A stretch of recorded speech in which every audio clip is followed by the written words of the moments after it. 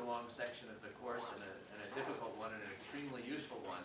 And in order to uh, emphasize the extremely useful, uh, today we'll talk about its use. And in particular, uh, talking about sound and the auditory system. Uh, and depending on how quickly this goes, hopefully with a, you know, uh, an ending note that's musical. Uh, but we'll see where, where we get. So, first, uh, sound is traveling pressure waves in the air. So when you're hearing me, it's because there is a modulation of air pressure that's produced by my vocal apparatus. We're not going to talk about speech production today, but you know, all this stuff from you know lungs, vocal cords, and vocal tract is producing these sounds, which are modulations in time of pressure. In other words, it's a function of time. Okay, just like these one-dimensional signals that we've been talking about. It's not sampled in time. If you record it, like on that device, it's sampled in time. Uh, but what's arriving at your ear is a continuous uh, signal in time. Uh, when it gets to your ear, it runs into all this stuff. Um, all this stuff uh, processes the sound and eventually delivers it to neurons that deliver it to your brain. So a few things about just the mechanical part before you get to a neuron. So, uh, you know, we refer to this thing on the outside as the ear, but it's only a piece of the full uh, ear apparatus. The ear consists of this outer thing called the pinna, uh, the outer ear, uh, and the ear canal, which you stick Q-tips in if you do. Um, and then the middle ear, which is this little part over here, and then the inner ear. Um, each of these has a function, uh, which I will review relatively quickly. Um, so the outer ear and the ear canal in us are relatively static devices. Some of us can wiggle our ears a little bit. I'm not one of those. Um, you know, other animals, think of my dog or my cat, right? can lift up their ears and direct them towards sound so they can use them as a directional hearing device. Uh, ours are directional only in the sense that they're not symmetric. And so the sounds, for example, coming from the front or coming from the back are bumping into different parts of this loose stuff. And this loose stuff resonates to some sounds, not to others, absorbs some, reflects some. And so the quality of the sound entering your um, ear canal uh, will differ depending on where it's coming from. That's a useful cue to knowing uh, the direction sounds come from. It's not the only cue, but this is not a lecture in full audition, so I'm going to skip all that topic. Uh, but nevertheless, this is, you know, soft stuff. And you may remember from high school physics that uh, physical objects typically have resonant resonances, resonant frequencies, right? Think of, uh, you know, this is a rather hard thing, and this is a somewhat softer thing you get a different frequency of sound coming off this thing than this thing uh, because this is harder. Um, and similarly, this is kind of gooey biological stuff, so it's going to be resonant for really low frequencies, uh, meaning it'll absorb them, it'll move with them, and therefore not pass them into your inner ear. Uh, the uh, auditory canal is a tube, and I think I may have said this in another lecture, but I always forget about what I say when. Uh, that a tube is just a passive device uh, but it acts like a linear filter. So I'm talking to you, I know I'm talking to you, and my voice sounds different because there's this passive device in front of it. And this passive device has soft sides and a hole of a particular shape that may have a resonance because of its size. If I make a smaller hole versus a bigger hole, it'll behave differently. But regardless, it changes the quality of my voice. And it changes it in a linear systems way.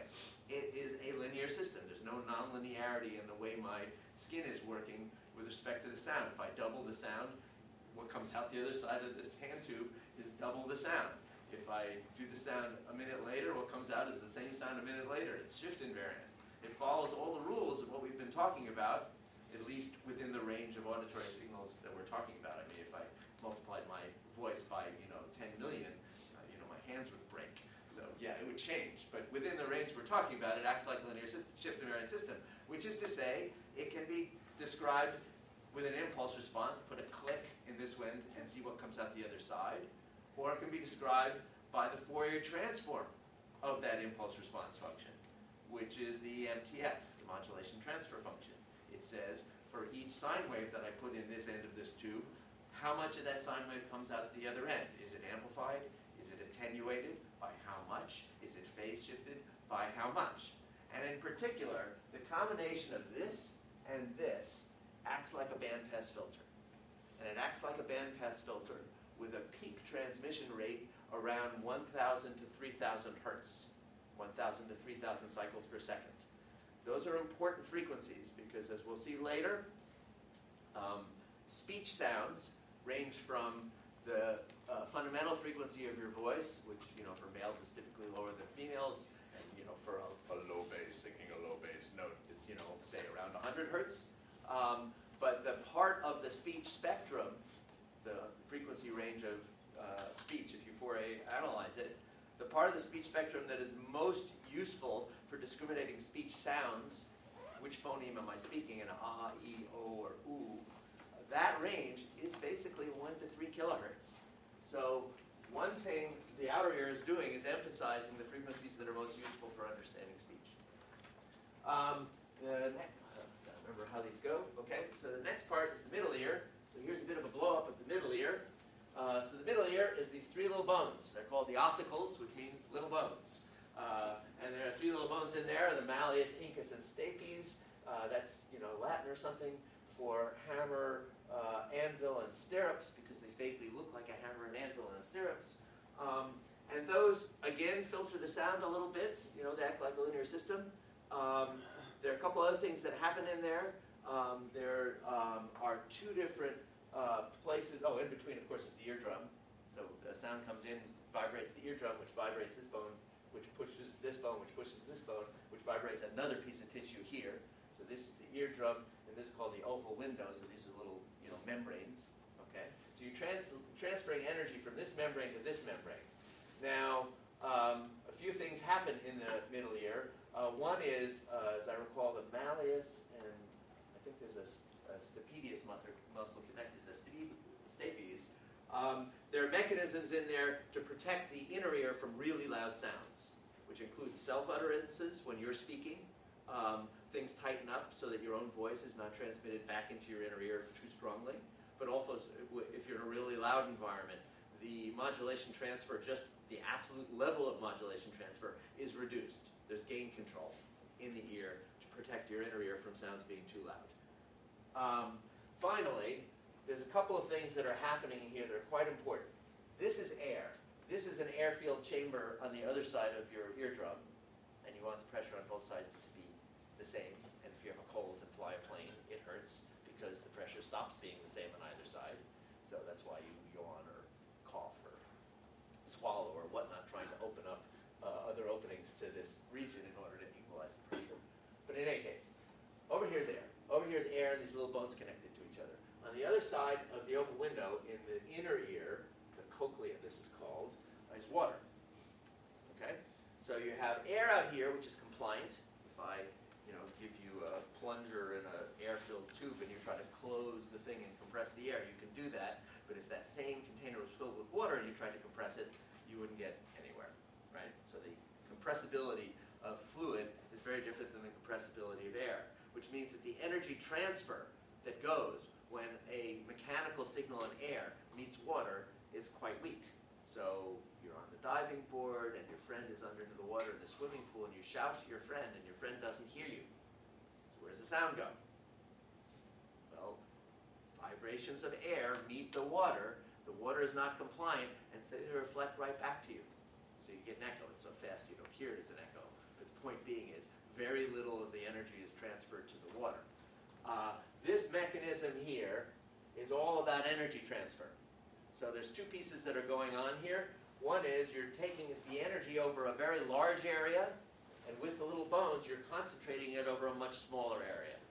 Okay, so you get a mechanical advantage from going from large area to small area. Also, the arrangement of the little bones acts a little bit like a crowbar, like a lever, meaning a large movement of this leads to a small movement of that. And, you know, so like a crowbar, uh, who's the Greek that said with a large enough, uh, not, you know, I lay lever, I could lift the world?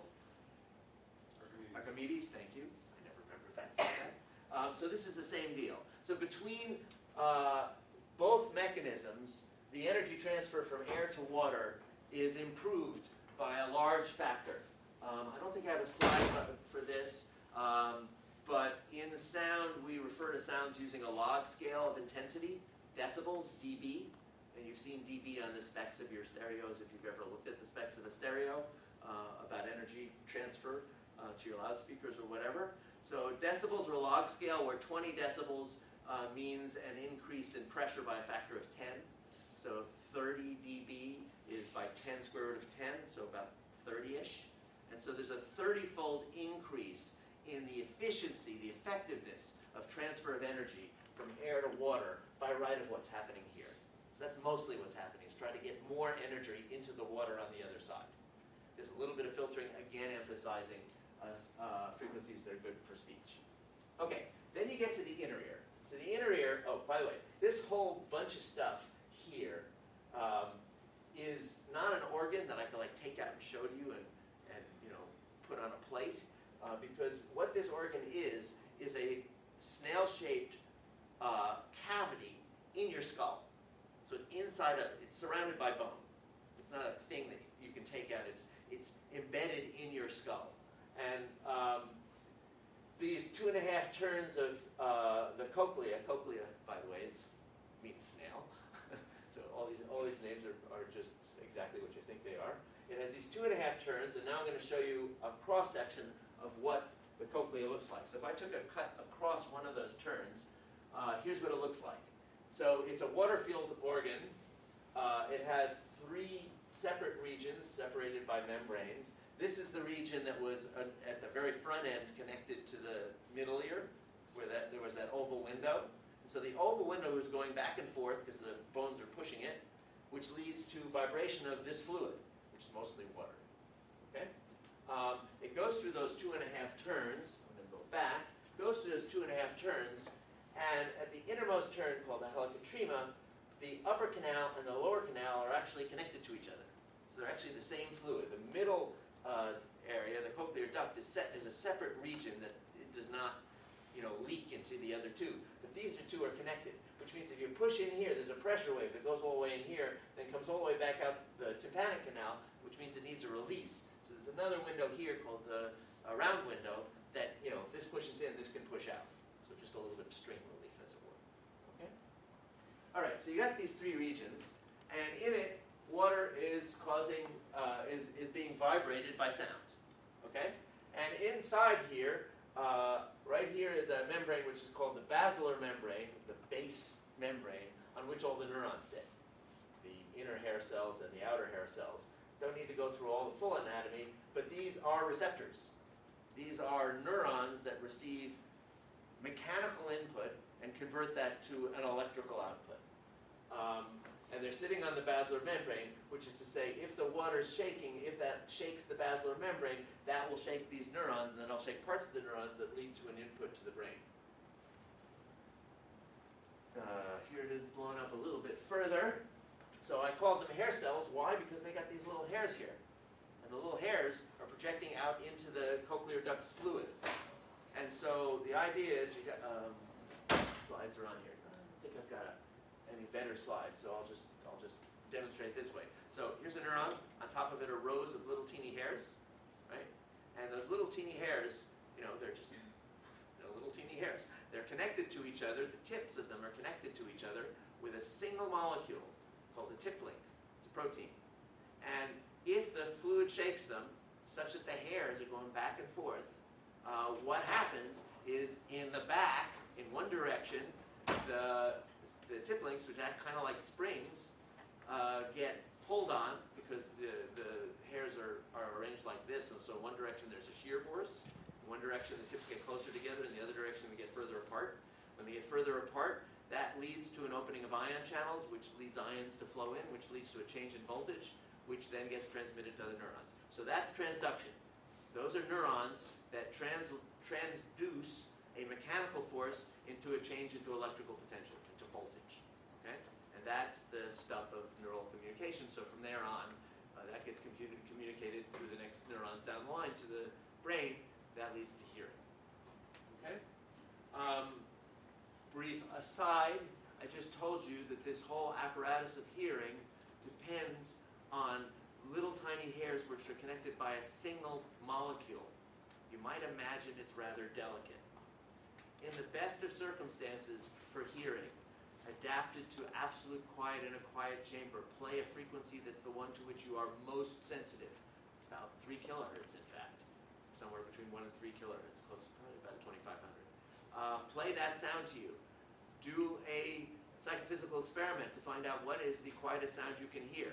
And the estimate is that when that happens, the hair cells that are producing the signal that is allowing you to, that are allowing you to just barely hear that sound, those hairs, are wiggling back and forth by a distance that's on the order of the size of a hydrogen atom. In the best of circuits circumstances, you are exquisitely sensitive to sound, which might make you wonder, again, from that decibel scale, so let's call that 0 dB.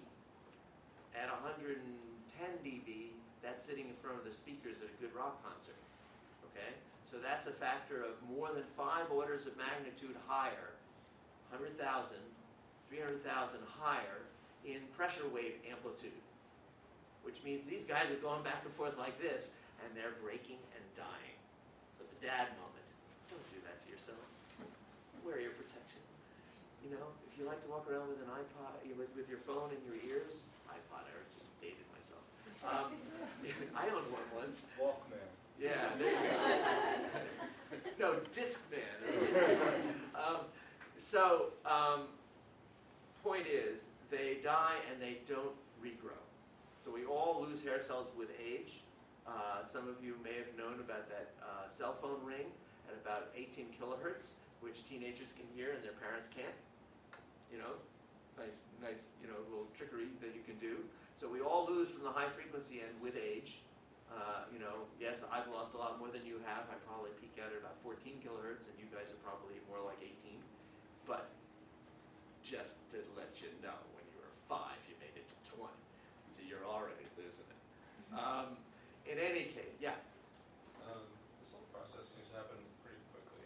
Has anyone characterized the latency from eardrum vibration to actual perception? My guess is, well, that for sure. That for sure.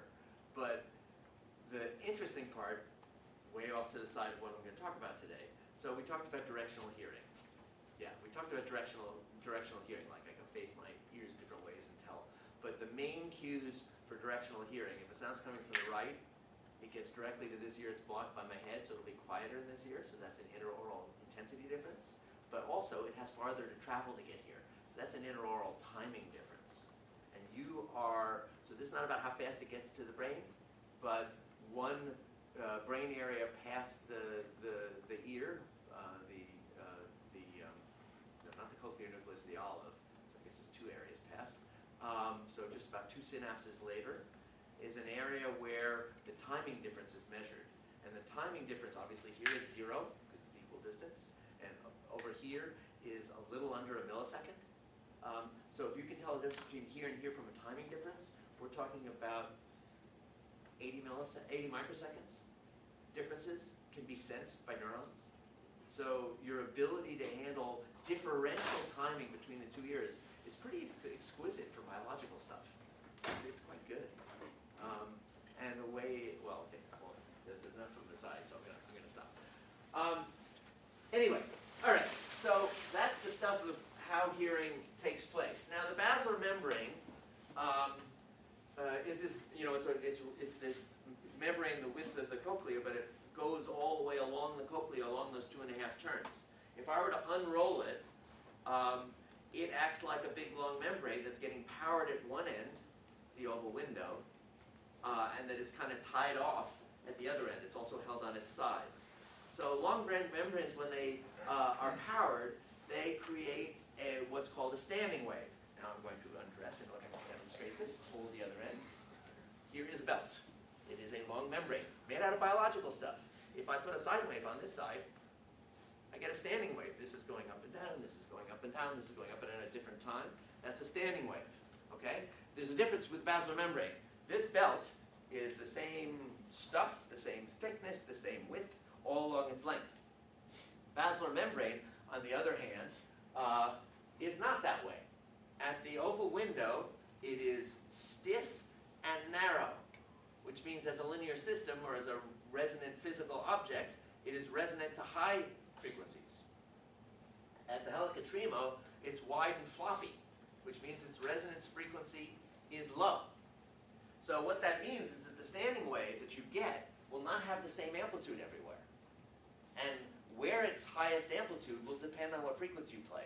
If you play a low frequency, the peak is going to be near the helicotrema. If you have play a high frequency, the peak is going to be near the oval window. Which is to say, the basilar membrane computes a blurred Fourier transform mechanically. Think about that. All this math we've been doing, and we have a piece of goo in your skull that does the math for you, real time, instantaneously, all the time, and it's how you hear. So audition works by supplying the brain at every moment in time with a sloppy Fourier transform of the incoming auditory signal. Okay? So you get this traveling wave. This is meant. This image is meant to be, you know, like a snapshot in time, uh, but it obviously moves uh, with time. But it gives you a feel that it's higher in one region than another. Now, if you take multiple snapshots in time, you'll see a traveling wave. So one, two, and three are meant to be two to three different instants in time. Uh, so you know, now the peak of the traveling wave is here, now the peak of the traveling wave is here, now here, and you know, eventually these will become peaks a little while later, assuming that it's a periodic sound, a repeating sound. Um, and this is meant to be, I'm playing a sine wave, and this is what you get to the sine wave. And so the idea is, this part of the basilar membrane is going to go up, down, up, down, up, down, with this amplitude.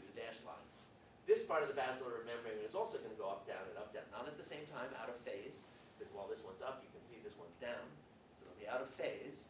Uh, but this one will also be going up and down, but with a smaller amplitude. Way over here, it'll be going up, down, up, down, with a smaller amplitude. So it acts like a linear system. You put a sine wave in, and every part of the basilar membrane acts like a linear uh, system. You get a sine wave out with a phase shift that depends on where you are along here and what frequency is being and with an amplitude that also depends on where you are here, which is to say that the impulse response the impulse response's Fourier transform, otherwise known as the MTF, is different here than here. Each piece of the basilar membrane has an MTF. And they differ in the sense that they're all bandpass filters, but the peak frequency of bandpass, the thing that is its frequency preference, differs. Down here it's for high frequencies, up here it's for low frequencies. And it continuously varies along the basilar membrane. So here's what it'll look like as a standing wave in a cartoon. So this would be for a high frequency. And so any given region, you just pick a place, you know, here, it's going up, it's going down, it's going up, it's going down. This one's going up and down more, this one's going up and down more, this one's going up and down less. Okay? Um, okay, but along the basilar membrane, this is where along the basilar membrane, here's the oval window, the other end, uh, about three and a half centimeters in, two and a half turns in uh, is the helicotrema, the innermost turn. And so for a low frequency turn, uh, uh, sound, about like this, um, you're all the way towards the helicotrema. And for, you know, uh, two octaves la later, so not the, that's the 400, is about here. And I'm not going to attempt to get to 1600, I'm not capable. Um, and so you get these standing waves, but where they are is going to depend on the frequency. These are cartoons, don't take them too seriously, but that's the general idea. This is oval window, this is helicotrema. This is low frequency near the helicotrema, this is much higher frequency closer to the oval window. So if you plot the envelope of that standing wave, so the max amplitude, you know, the, the, the max deviation for a fixed sine wave, for sine waves at different frequencies, really low ones the peaks, you know, extremely low ones, like tw- at 25 hertz, you don't just hear it, you feel it. Um, uh, it peaks at the helicotrema, but as the frequency uh, increases, uh, the peak moves cl- closer and closer uh, to the oval window.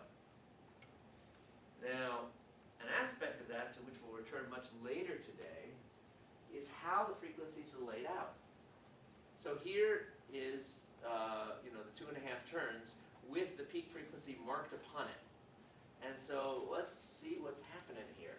So uh, here we are at 100, uh, and then we go a half turn and we're at 200, and then we go a little more than a half turn, we're at 800, a little more half turn, we're, sorry, 400, then a little more half turn, we're at 800, a little more half turn, we're at 1600, a little more half a turn, we're at 3200, a little more half a turn, and we're, well, not quite at 6400. Uh, what kind of a scale is this?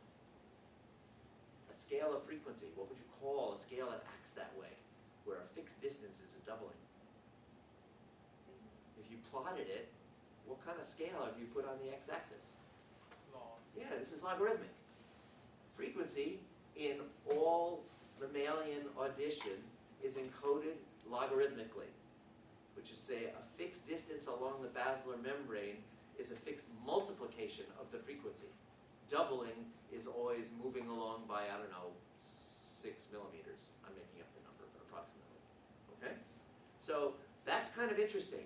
And this idea that perception, not just the mechanics, this is just mechanical description of the basilar membrane, but perception of frequency is also logarithmic. It's the basis of West, all music, Western, Eastern, whichever, uh, is the fact that frequency is encoded logarithmically. I will talk about that later.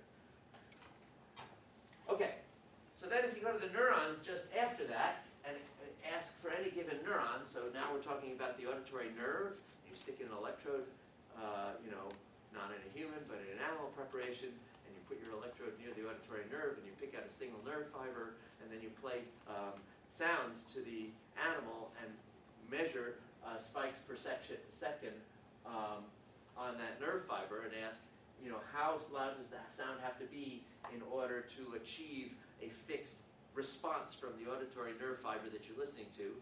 Um, so this is uh, a, effectively a sensitivity curve. And so the idea is if it takes very, very little input to get that neuron spiking, you know, 20 spikes per second, then that's a place where it's sensitive. If it requires a much louder sound, uh, then that's where it's insensitive. So on the x-axis, so these are different nerve fibers. Um, does it even say what animal it is? Probably a guinea pig. Huh? Cat. Where does it say that? Need the cat. In that cat. Oh, I went, I went right past it. Okay. Interesting they do it in the cat because most uh, auditory physiology is done with little, you know, free roomy things. Um, in any case, um, you know, so these are different neurons that are obviously tuned for different frequencies. Tuned. Bottom here means you need very little uh, sound energy to get the neuron firing. So that's high sensitivity. So what you're seeing here is a plot of bandpass filters. They're plotted upside down because this is not a plot of sensitivity, it's a plot of threshold, right? Low threshold is good, sensitive. High threshold is bad. Not only that, these are very narrow band. Now, why do I know that? Well, first of all, we've got to look at the axes carefully. Um, you know, what is this axis? 4, 9, 16. Uh, this is kind of a gentle logarithmic axis over here. Definitely a logarithmic axis because this is in decibels. Meaning every time you go up by 20 dB, you've increased the pressure modulation by a factor of 10. Okay?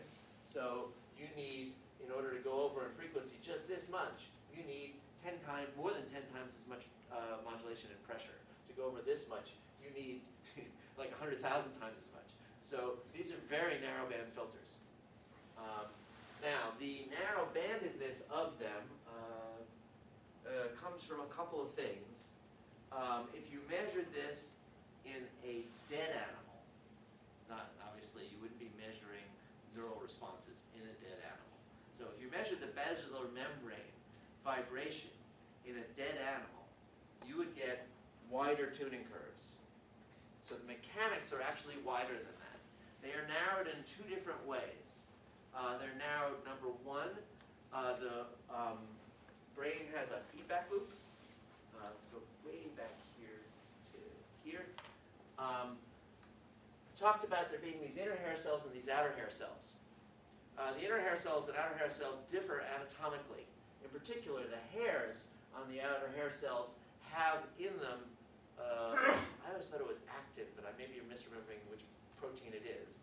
But they have a protein in them that is analogous to the proteins in muscles, which is to say, I don't have it here, but in the undergraduate class, there's this lovely, um, silly video from an auditory physiologist where they play rock around the clock and inject that as current into an outer hair cell, and it sits there wiggling with the beat.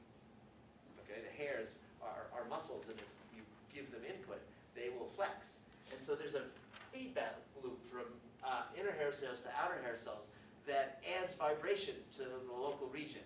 That feedback loop actually amplifies at the preferred frequency, thus effectively making for a narrower filter. Second, by the time you get to the auditory nerve, there is a consequence that physiologically is rampant throughout all the different sensory modalities called lateral inhibition, which is to say my output is excited by my preferred uh, input neurons, but inhibited by neighboring neurons. Now, on the basilar membrane, neighboring, meaning further towards the helicotrema or further towards the oval window, means not merely neighboring, you know, geographically, basilotopically, but it also means neighboring in preferred frequency. So I'm excited by the frequency that my input neuron likes, but I'm also inhibited by neurons that have neighboring preferred frequencies, which effectively, again, gives you narrower tuning curves than you would have gotten just pure mechanically by the fact that the basilar membrane gets floppier as you go in. Okay? So all of that is a system designed to do a linear system at each place along the basilar membrane, linear for reasonable signals. Obviously, if the signal gets incredibly intense, it'll stop acting linearly. But it acts like a linear system. It acts like a filter. Here's a picture of the filter upside down. Um, there are other ways to measure it. I'm not even sure why this slide's in here, so I'm going to skip it. Um, oh, this slide's in here saying here are uh, tuning curves of different neurons uh, measured physiologically. Here are tuning curves uh, measured psychophysically in a behavioral experiment. Uh, how do you do that? So, suppose I'm listening to this neuron to do a task. You know, the task is do you hear boop? Except I'm going to make it hard for you because I'm going to put that boop in an environment where it might be masked, where there's another sound that you're not asked to detect that's always present, um, but you're being asked, is this sine wave been added to this mask? And so the mask will be a noise, um, a narrowband noise with different frequencies in it that will be varied over trials. And sometimes the mask will be a shh that's similar in frequency to the boop, and sometimes it'll be, it'll be lower frequency than the or maybe be much higher frequency than the boop. Okay? And the question is, how effective is the mask in making the beep harder to hear? And so that's what's plotted here is how much mask intensity do I need to raise threshold by a fixed amount? So it's like a sensitivity curve, now it's sensitivity to the mask by the mechanism you're using to hear this, the, the sine wave. So if the mechanism we're listening to a single auditory nerve, that won't be true because you've got lots of them that are useful to you, but however it is you're pooling the input in order to detect the sine wave, if the mask gets into that the set of mechanisms you're listening to, they will make it the, the beep harder to hear. And the idea is that when the mask is similar to the test, it, you need very little mask in order to raise the threshold for hearing the beep. But as the mask gets further and further away, uh, you need more and more of it by many beep. The same with, with the mask being higher than it. So there's a couple things to notice here. Um, one is they're awfully similar looking, both in bandwidth and in shape. You notice that the cutoff is really fast at the high frequency end, and the cutoff is really uh, broad at the low frequency end. That is a consequence directly of, oh, that's the wrong one? Of this. Look at the shapes of these, um, these envelopes. When you play frequency, there is a very broad uh, side to the envelope here and a very sharp one at the amplitude here, which means as the thing moves this away, if you're here, you know, responding to this sound, so uh, let's, let's pick here, okay? So I'm, I'm, I'm on the basilar membrane here, and when you play a low frequency sound, I get an input, a higher frequency sound, I get a higher input, higher, but it's, it's gradually increasing. So my response is increasing as the frequency is increasing until the frequency passes me by and then it drops rapidly, which means that my cutoff on the high frequency side should be sharp, and my cutoff on the low frequency side should be shallow, which is exactly what you see both neurally and behaviorally. Sharp cutoff on the high frequency side, shallow cutoff on the low frequency side. That comes straight out of the mechanics of the basilar membrane. neural processing is not required to give you filters that are shaped like this. Okay, so how do we uh, know about this stuff behaviorally? Well, so this is already um, a kind of a uh, method for asking what are the filters that you use in hearing and asking about it in a behavioral experiment. So there are, uh, let me draw some of this stuff, yeah. So um, here's the idea. Um, suppose this is frequency, oh, that's not a very good one. What's a good one? Try it. Try another one. Suppose, suppose this is frequency. You know, from, you know, 200 uh, to 20 kilohertz. And suppose I ask you to do an experiment where you're trying to detect a sound. And suppose I'll, I'll pick a sound, you know, right here. This is the frequency you're being asked to hear. And I'm going to ask what happens when I vary conditions to make it hard for you to hear. So I'm going to measure the threshold for this sound alone. So this is just a boop, and I'm going to make it really, really quiet so you can just barely hear it. I'll do it in some kind of forced choice experiment where there's two temporal intervals. One has a sound, one doesn't have to have a sound, and you have to tell me which interval has the sound. Maybe I indicate the intervals by a, a light on a screen so you know when to listen. Okay? And so I measure how loud does the sound have to be in the best of conditions. You're in a quiet room, there's no echoes, you can't hear any people walking down the hallway because you're in a room where you close the door and there's like layers of egg crate uh, styrofoam around you or whatever. So you're in an isolated chamber and you measure threshold. So here's how much threshold is. Okay? Now I make it harder to hear because in those two intervals there will be a noise, a shh.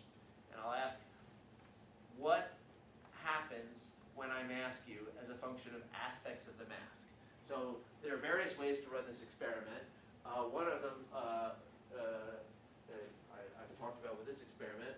Uh, the standard one, which is called critical band masking, is there's two different ways to run it. Oh, I have the eraser so I can do this. Um, one way to do it is I put a masker. So maybe this is the masker. So when I draw this rectangle here, I'm saying I'm playing a noise that has equal energy from this frequency to this frequency. Okay? And the y-axis is, you know, how much amplitude it has. And then on top of that, in one interval, I'll add that sine wave, and in the other interval, I won't, and you're trying to detect the sine wave. Okay? So I do that for this noise. I also do that for this noise. I also do that for this noise.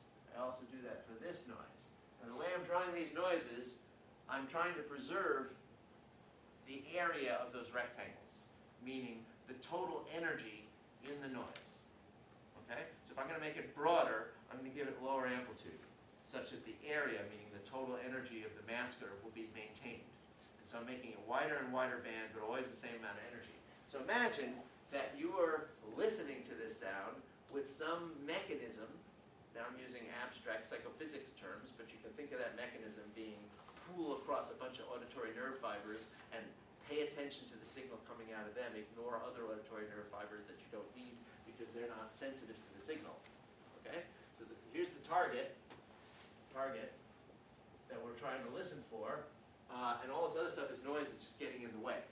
So imagine you're listening to this with some filter, shaped like what I was showing you before about I'm going to be, you know, lazy about it say maybe the filter looks like this. Auditory filter or mechanism. Suppose that's what I'm listening to it.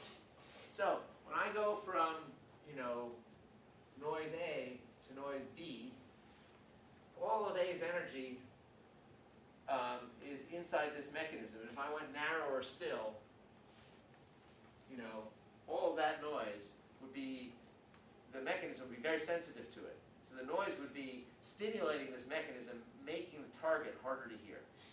Be a very effective mask. By the time I get to B, some of this energy is starting to hit places where that mechanism is less sensitive. And so that mask will start becoming less effective. And this will become less effective still. And so if you plot threshold elevation as a function of bandwidth, bandwidth being the width of these little rectangles, for really skinny ones, I could make them wider and the threshold elevation, uh, sorry, probably the wrong way. Um, elevation won't change. If I make it a little lower, and a little wider, as long as it's right near the peak of the tuning curve, threshold's hardly gonna change at all. But when the energy in the mask, some of it is distributed outside the filter you're using, that means that mechanism doesn't hear that part of the noise. That means the effective amplitude of the noise as far as this mechanism is concerned is starting to go down, which means its ability to impede your hearing of the thing you're listening for will go down. And so it'll go like this. And so this frequency will be called the critical band, hence the name critical band masking. And so the idea is we're measuring a filter with a behavioral experiment. We're saying the filter you use to hear this frequency has a bandwidth approximately of that. And if we do that, and we do that for you know 200 hertz tones, 1000 hertz tones, 4000 hertz tones, what we'll find is that the width of this critical band is proportional to the frequency being detected, which is to say that the filters are arranged logarithmically. Want to hear a sound that's five times higher in frequency, you're using a filter that's five times wider in linear frequency terms. Okay? And the basilar membrane, as you saw, was arranged mechanically in millimeters logarithmic, which means that the filters are a fixed width on the basilar membrane. The filters, you know, could you could say the filter around 200 hertz goes from you know 180 to 220, and the filter around 2000 hertz goes from 1800 to 2200. I'm making up the numbers, but they're comparable to the right answer. Okay, so I've just multiplied the width by 10. But those two widths can also be measured in millimeters on the basilar membrane. And on millimeters on the basilar membrane, they're identical. So it's as if the basilar membrane is wired up the same way all along its length, but because the mechanics spread out frequencies logarithmically, that means all the filtering problem, pro properties act in a logarithmic fashion as well. Um, the other way to, to, to run the experiment is loudness summation. So it's kind of the same thing. Um, and so I'm going to draw the same noises again, but I want to get rid of the target because the target is no longer involved. Um, but, but I will leave up this plot. Um, okay, so I'm going to have these same noises. Noise, noise, noise, noise, noise. And where these noises are all equal area, and they're going to sound qualitatively different to you. You know, the one that's really narrow will almost sound like a musical pitch, not quite. It'll sound like a noisy musical pitch. But as it gets wider, it'll sound more like, you know, it'll, it'll sound like a noise, okay? But the question is a very qualitative kind of experiment. Those of you in perception heard me talking about qualitative experiments a couple days ago. Uh, and it's a very qualitative experiment. Experiment is to say, how loud does it sound to you? I know it sounds qualitatively differently, qualitatively different. It doesn't sound like the same sound. But the question is, what's the perceived loudness? And what you will find, so let me put this back. Critical band experiment went like this, and there was the critical band. So now I'm going to change, I'm going to have another axis over here, which is perceived loudness. And so I'm going to plot another experiment on the same graph, uh, which is how loud does it sound to you as you make the sounds wider and wider bandwidth, as you proceed from this to this to this to this, the same mask that we were using last time. And so what you get for that experiment is this. Uh, am I doing this right? Yeah.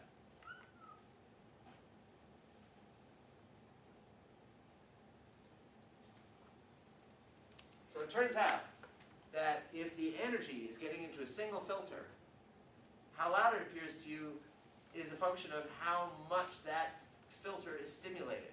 Which means that if you stimulate it with a narrow thing or a wider thing, but you're stimulating that filter exactly the same amount, loudness doesn't change. But when now you're stimulating that filter less, but you're stimulating other, filters as well, so now you're not just summating energy within a filter, which seems to be treated like a linear system, it just adds energy. But now you're combining energy to this filter to this other filter further down the basilar membrane, or this other filter closer to the oval window. And so this, this filter you started with is now getting energized less, but now other filters are getting recruited. It turns out that perceptually, that's louder. And both these methods measure the same filter and give you approximately the same answer as to how wide that filter is. So these are very different psychophysical techniques to get at the idea of we're going to treat the auditory system as a collection of linear systems, auditory nerve fibers or other neurons down the line that are effectively stimulated by different portions of the basilar membrane. Uh, if we're going to treat it uh, like a linear system, then you want to know what is the modulation transfer function of that linear system, or of each of those linear systems, because we don't have one, we have several. And once you take those linear filters and then do stuff with them to combine them, at that point you may be doing nonlinear stuff. Here you're clearly doing nonlinear stuff. Okay, you're combining across linear filters and you're combining them in a nonlinear way. Otherwise, energy would just keep adding. But that's not what happens. Um, and so it starts out as a linear system, and then one might want to examine the properties of what happens when it becomes nonlinear. Okay. Next, suppose I wanted to uh, use linear systems theory not just to say, oh, interesting, this this uh, system of hearing is a linear system, but suppose I wanted to model what it does. So I want to model these filters. I want to approximate them with some curve of some uh, linear filter that could represent what's actually happening at each place along the basilar membrane. In order to do that, I need to build up a model.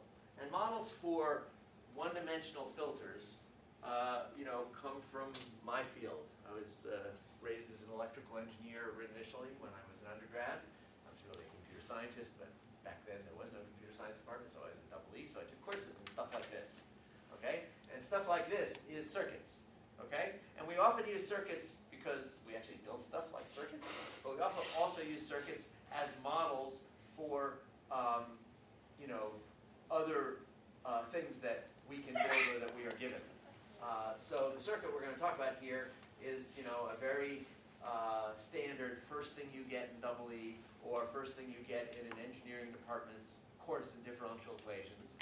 Uh, we've been pushing your math in this course further than you may have meant it to go, and I'm not going to do a course in differential equations. You know, perish the thought, that's enough already. Uh, but I'm going to give you at least an intuition for how the system works. So first of all, let's just talk about what's in front of us. So what's in front of us is a schematic of a circuit. And the circuit consists of two components, a resistor, that's this wiggly line here, and a capacitor, that's this line. A resistor is something where if you want to push electrons through it, it resists. Okay? And so in order to get enough electrons to flow through it, the, the voltage difference on either side of it needs to be big. Okay? So the bigger the voltage difference, the more current flows, the more electrons get through.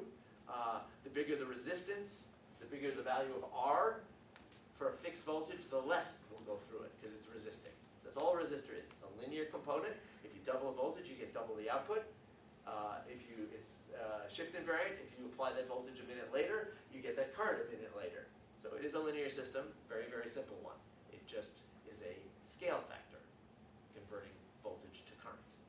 Okay, next component is this guy called a capacitor. It has this, know, picture here. The picture is meant to look like what a capacitor actually is, which is two pieces of metal that aren't touching each other with an insulator in between. So electrons don't actually get to flow across it, but if you get a lot of negative charges on one side, because of physics, positive charges will be attracted to the other side. And the bigger the plates are, the more effectively that will happen.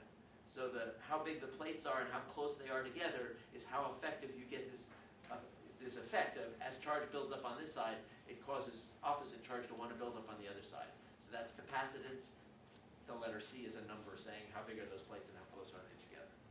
Okay, so what that means is that as you, um, um, you know, try to push current here, that current gets integrated by the capacitor, leading to a voltage across the capacitor that integrates the electrons that you've given it. The more electrons you give it, more positive charge that comes to the other side, the more you build up a difference in voltage on either side of the capacitor. Voltage is the potential for current to flow. Current is actual current, uh, actual electrons moving. So the capacitor acts like take an integral. Now, integral of function A plus function B is integral of function A uh, plus integral of function B. You learned that in a little bit of calculus you may have had. Otherwise known as an integral of A times function is A times the integral of function otherwise known as the integral is a linear system. The same rules, the derivative of function a plus function b is the derivative of function a plus the derivative of function b. The derivative is a linear system. And if it's a function of time, it's also shift invariant. If you shift the function later, the derivative does the same thing. If you shift the function later, the integral does the same thing. So those are linear shift invariant systems. So this circuit is a linear shift invariant system. So you can solve what does this system do, and so you see that you know this guy's taking an integral of this, um, or alternatively, uh, you can shift the integral to the other side and saying that the voltage, the derivative of the voltage gives you the current. These are equivalent statements, okay? Um, and then you can ask, what's the difference between the voltage at the input and the voltage at the output? So the difference between the voltage and the, uh, in the input and the voltage the output is how much voltage gets wasted on this resistor. How much does this guy do that? And the, um, the resistor's function says the voltage you get is current times resistance, meaning if the resistance is high, the current is low. If the resistance is low, the current is high. That's what I told you before. Okay? And so you put all this together, and you end up getting the uh, difference in the output from the input is the derivative of the input. So it turns into what's called the differential equation. Equation of something that we'd like to know y, which has y in it just as y, but also has y in it as the derivative of y. And so you say, what function will satisfy this? And so you can take a whole cast of differential equations I did back in 1972 or something. Uh, barely remember it. Uh, but here's the answer of what you get. Now, I'm not going to say how I got there, but calculus, what's the derivative of e to the whatever? Derivative of e to the whatever is e to the whatever times the constant, 1 over tau. Okay? If you substitute in that, the tau's cancel, it works. Okay? So what does all this say? This says that this circuit is effectively uh, has a impulse response. If you kick it, what comes out the other side is an exponential. Okay? All this work just says, here's a circuit which has an impulse response, meaning if you, you just pinged it, raise the voltage instantly and then turn it back off and said, what is going to be the result of doing that? The result is going to be an exponential. Okay? It's a, it's a circuit, it's a thing. Its impulse response has to be causal, has to go forward in time. And so the idea is this is a circuit where if what you put in was this, in, what you get out is this. Now, when you draw an exponential, there's lots of exponentials you could have drawn. Exponentials are described as e to the minus t over tau. When t equals tau, it goes down by 1 over e. So, you, so it starts at whatever height it is, that's how hard you kicked it. But it go, when it goes down to 1 over e, 1 over e, e being 2.71 blah blah blah, okay, just some number. Okay, when it goes down to 1 over e, that's the time constant of this device. So if it drops really fast, if tau is small, tau is small. If it drops really slow, big. Now, that is going to get convolved with your input, which means you flip it around and you multiply and sum. That's convolution. Which means the current output is going to be an average over a bunch of the previous input. Not much of the previous input if tau is short. Lots of the previous input if tau is long. So when tau is long, it's blurring the hell out of the input, which is what this is meant to show. That the input is this spiky thing, if tau is long enough, you get out something much smoother. So it is a low-pass filter. It's clearly acting as a low-pass filter, and you know it's a low-pass filter because its impulse response is only positive. So it's effectively taking a, a weighted average of the past, which is blurring. Okay? Uh, and it's a causal filter, which means it's also adding a time delay to any signal. Right? If you kick it, your response is spread way over time. You give it some interesting thing like a sine wave, the peak of the sine wave and the output is going to be a little bit later. It's going to be it's going to have involve phase delays. Okay, so that's a filter. And it's a causal filter, something you can actually build. And it's not just any filter, it's just the most standard filter you could ever talk about. It's used, for example, in neuroscience to describe uh, the cable equation. So neurons have axons, or dendrites, which are just cables of stuff. And the outside of a membrane versus the inside acts like a capacitor. There's voltage inside, there's voltage outside, and there's an insulator in between, which is the membrane, So that acts like a capacitance. Inside, there's fluid, and current wants to flow, but if the dendrite's really tiny as opposed to a big fat axon, then current flow is more difficult, so it acts like a resistor. So you got a resistor going this way and a capacitor going this way. Each little section of a biological membrane acts like this circuit and is modeled this way and behaves with signals this way. If you have a whole long cable, well, it's got lots of little pieces of this, each of which will act this way. So it's not just you know something you build out of circuits and you know have in your phone. Uh, you know, it's uh, something that can model biological stuff. Now, if we want to design a filter, uh, then we want to know how it works in the frequency domain. So if you take a circuit which behaves this way, and then you ask, what is its modulation transfer function? Meaning, you take that exponential and you calculate the Fourier transform, and you calculate it the way uh, MATLAB wants to do it, which is to say you get out complex numbers. And those complex numbers as a function of frequency have a very simple form, this. So it's 1 over 1 plus something proportional to frequency. So this is a frequency in radians. Um, but you could do the, you know, if you want to do the discrete Fourier transform, you could do the 2 pi f, you know, f over n thing that we did all the last three weeks. Um, tau is the time constant, which is to say if the time constant is long, this has a big number in the denominator. If the time constant is small, there's a small number in the denominator. And it also involves phase shifts, which is why i is here, square root of minus 1.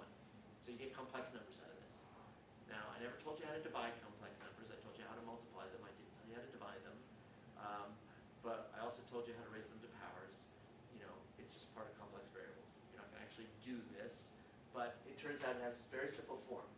Over here, this fraction is plotted. This is an MTF being plotted. We talked about different ways to plot how filters work. This is the engineering way to plot how filters work. It's not wildly different than things we've already talked about, but I want to point out some differences. The x-axis is frequency, but unlike the plots that you get out of MATLAB, this is log frequency, right? Multiply by 10, multiply by 10. The y-axis, well, there are two y-axes here because we're going to take our complex Fourier transform and we're going to separate out the amplitude part and the phase part. Okay? The amplitude part is in the solid curve and is using this axis, which is modulation transfer. Um, and it's modulation transfer in a decibel scale. It's the gain. How much is the signal amplified? So a gain in zero decibels means the output is exactly equal to the input. That's multiply the input by 1. A gain of minus 20 dB means multiply the input by 1 tenth. It's a log scale. And 20 dB is a factor of 10. So this is a log scale where all the way down here is 0.1. 1, 0.1, 0.01. Okay, it's a log scale.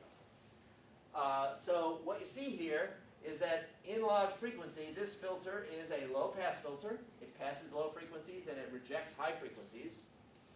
Uh, this is a log scale which uh, uh, has a slope once you get to the high frequencies. So it, it, attenuates more and more the higher you get. And it attenuates with a slope of every time you multiply frequency by 2, you reduce the output by 6 dB, which is 2. So every time you double the frequency, you have the output more. Okay? That's what this slope is telling you. Uh, just like 20 dB is a factor of 10, 6 dB is approximately a factor of 2. Okay? Um, and it's kind of obvious over here.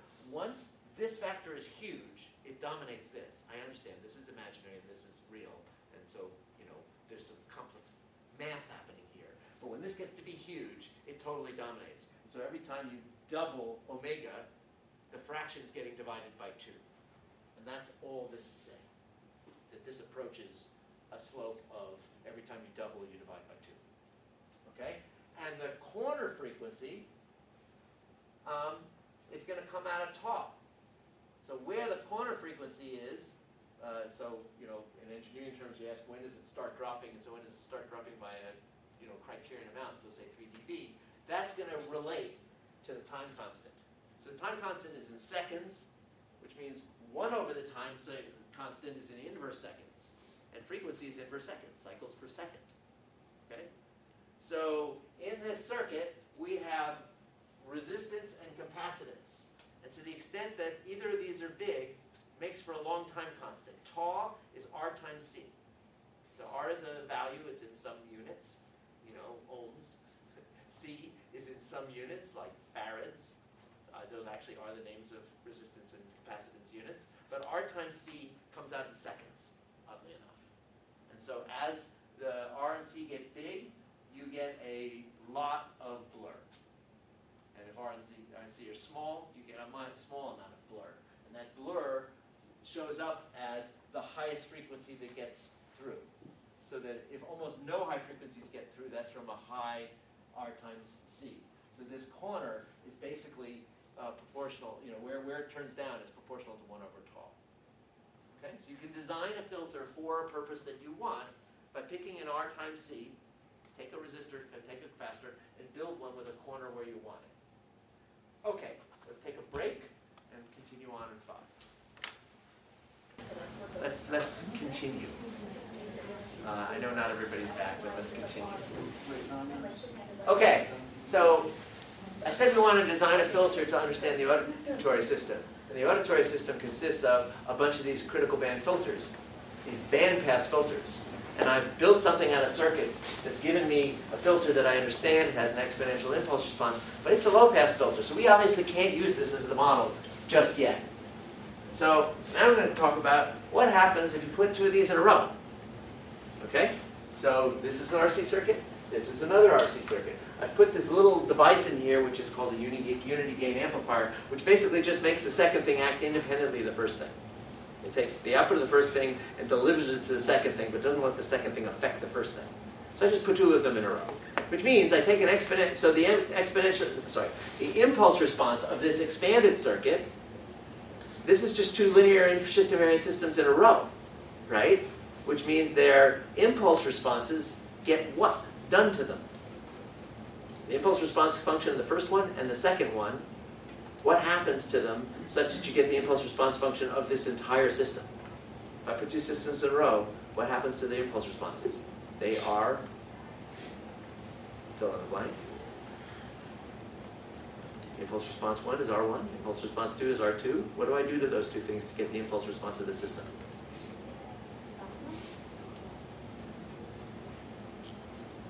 I'm feeling failed the last two weeks from the silence in this crowd if you put two systems in a row, the impulse response functions for those two systems are convolved. The Fourier transforms multiply, whatever you do to a frequency in the first one then happens in the second one, that's dot star. But dot star in the Fourier domain is convolved in the signal domain. So you can get an exponential convolved with an exponential.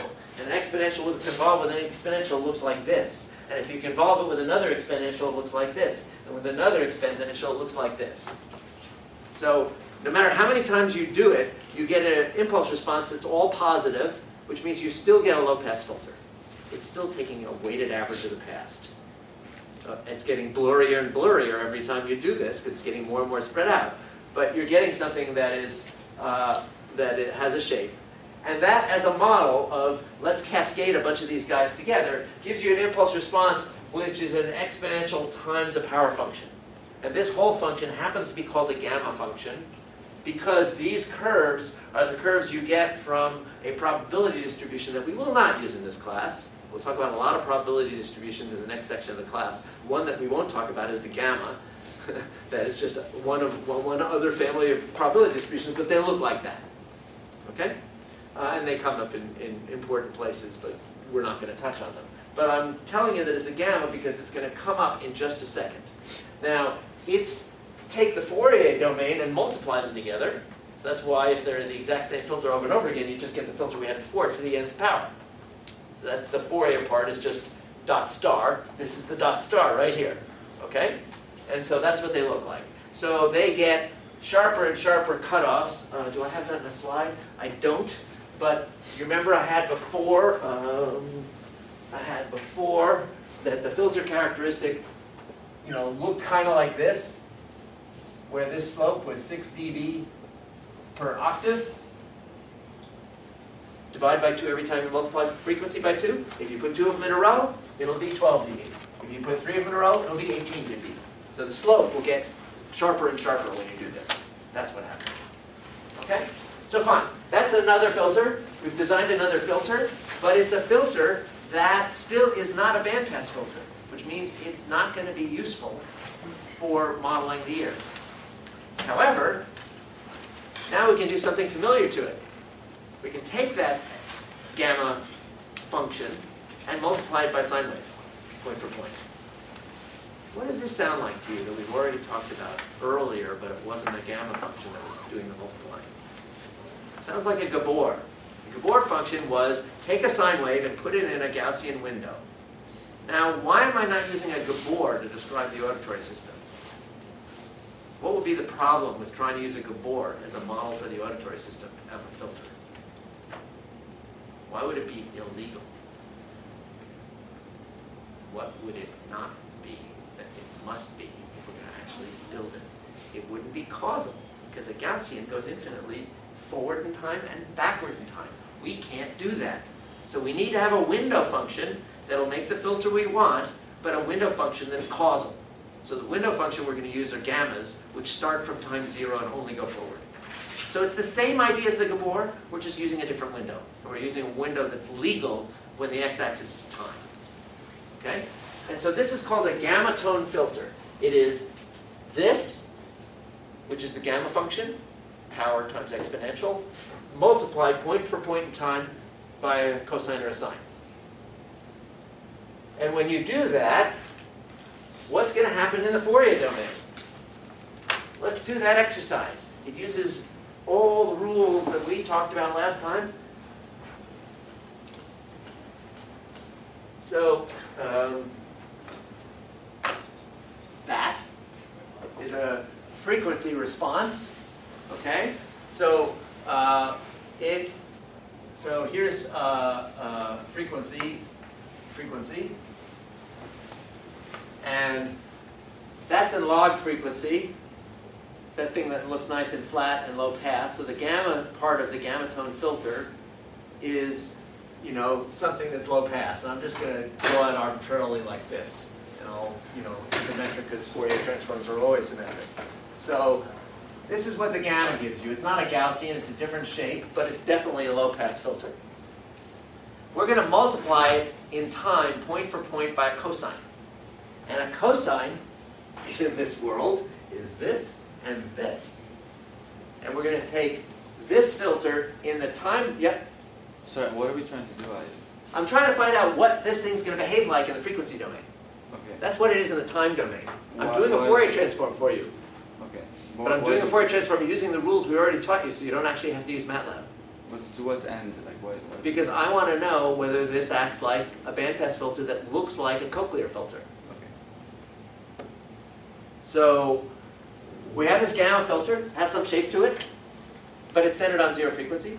We're going to make a new filter, which is a gamma tone thing, which is going to multiply it point for point in the time domain by another function, which is the sine cosine wave, which is just one frequency, positive and negative frequency. So when you multiply in the time domain, what do you do in the frequency domain? What's our rule about how the Fourier transform works? When you go from time domain, if you take two functions f times g in the signal domain, when you go to the Fourier transform, f and g are combined how?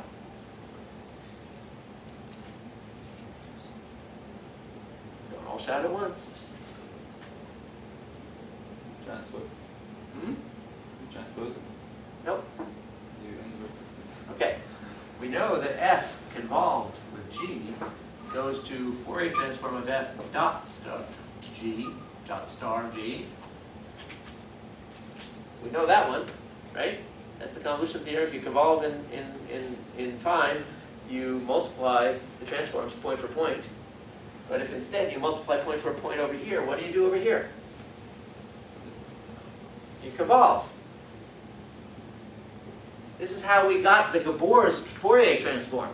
The way we got the Gabor's Fourier transform, I should use another color, So the Fourier transform of the gamma tone is going to look like put this thing here and here. Otherwise known as it's going to be a bandpass filter, centered on the frequency of the cosine. Just like the Gabor. It's the same exact idea, and the same use of the same theorems. Okay? So we've built a bandpass filter, a causal bandpass filter. So it's the kind of thing you can actually build. Um, and it is oft used as a model for what the cochlea is doing. So if you want to model speech sounds and describe what the sounds are, and then you want to describe how the cochlea is responding to them, there's two different representations that people who study, for example, speech or hearing in general, will use. One is to just say, at each moment in time, what's the basilar membrane doing? First of all, what's the signal doing? And then what's the basilar membrane or the auditory nerve doing? So the first step is just say, what's the signal doing at different parts of the basilar membrane? So that's called a spectrogram. And so what a spectrogram is, is it's a Fourier transform, except not of the entire signal, but of little snippets of the signal in time. So I'm going to take something that goes on for several seconds. I'll take, you know, say 100 milliseconds of it, computer Fourier transform and plot it for you. Then I'll take the next 100 milliseconds, computer Fourier transform and plot it for you. Do this over and over again, going forward in time. So at each moment in time, what's plotted here is for various frequencies, how much energy is there? It's the amplitude spectrum. Phase is being dropped here. And phase is not very important for hearing anyway, except relative phase between the two ears. Okay? And so what you're seeing here is uh, a sentence, children like strawberries. And above it, what the spectrum of the sound is at various points in time. So if you're going to understand speech processing or other auditory processing, you want to understand what the signal is. Here's a picture of the signal as it transforms over time. And you see that when there is a vowel sound like uh or i or ah going to e, this is an ah and this is an e, the spectrum has these peaks. Why does it have peaks? Because when you say a vowel sound, your mouth is mostly open, your vocal cords are vibrating, so there's a fundamental frequency which is sort yeah, somewhat visible in here. I'll talk about that in a second. So you have a forcing function, which is first noise coming from your lungs. Then you've got these flaps here for a vowel sound. They're vibrating. So put your hand on your, uh, everybody put your hands on your here and go ah, and you can feel it right there. It's vibrating under your hand. So that's your vocal cords vibrating. That are vibrating at the pitch you are you're speaking. So you go ah, as opposed to ah. It'll start vibrating at a lower frequency. Okay, so that's a forcing function. That then goes through your vocal tract. Vocal tract has behind your tongue, in front of your tongue, behind your teeth, through the lips. It has various tubes with various sizes, which act like filters, which emphasize this frequency, this frequency, this frequency. These are called formants. And they are telling you which vowel am I listening to.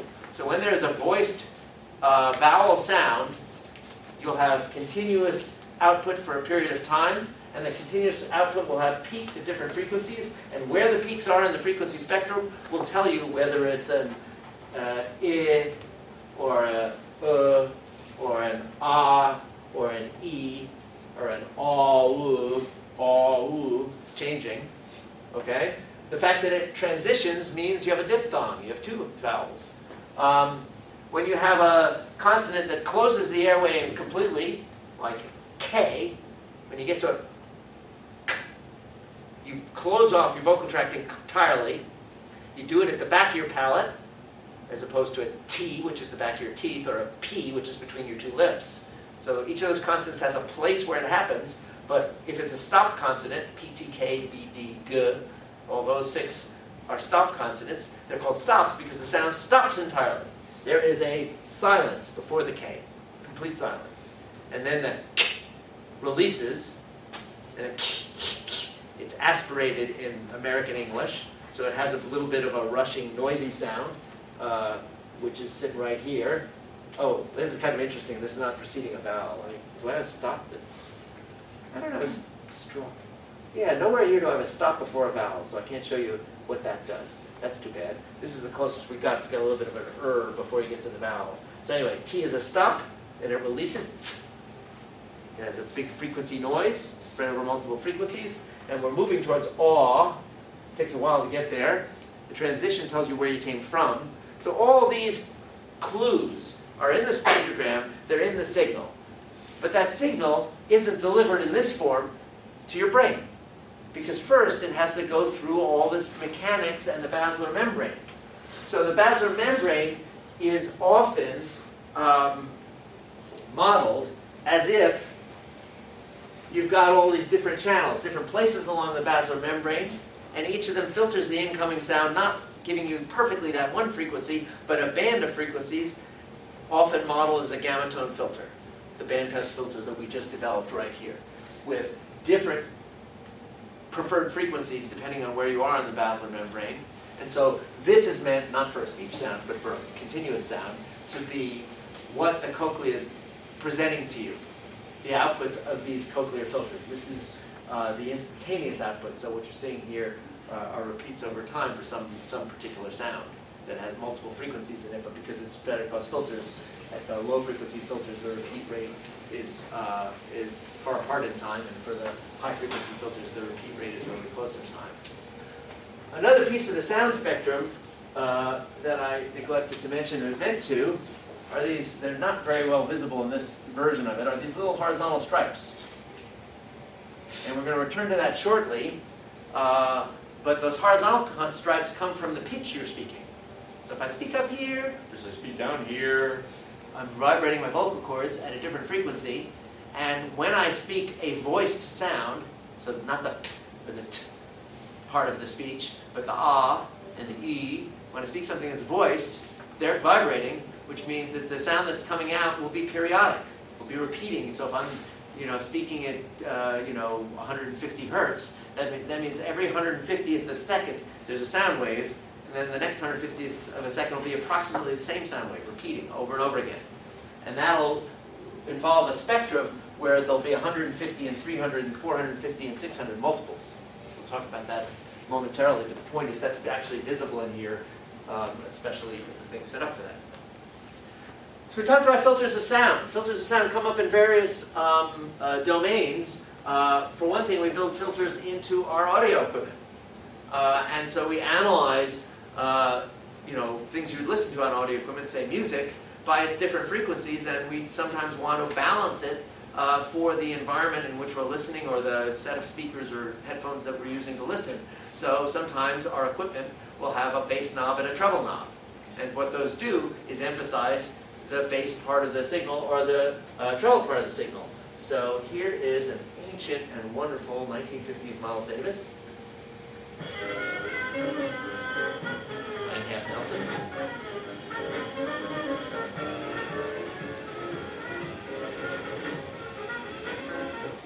And, you know, here's the signal, and here's the frequency spectrum where I literally took a Fourier transform from 0 to 2 kilohertz, and I'm showing it to you. So now I can put that through a filter. Now I did a really silly filter, uh, you know, a band, a low pass filter where basically the lows get through exactly and the highs get thrown away completely. You'd never build one of those out of circuits, you know, it would have some kind of smooth thing going on there, but whatever. And if you do that, you know, I deleted all high frequencies, which mean the signal is now moving back and forth much more smoothly in time, because I low pass filtered it, I blurred it. So the hi-hat is now missing. And it sounds like this. As opposed to this filter, which is the inverse of this one, where I only let the high frequencies through and delete all the low ones. And so now the hi-hat will be there, but the bass player is gone.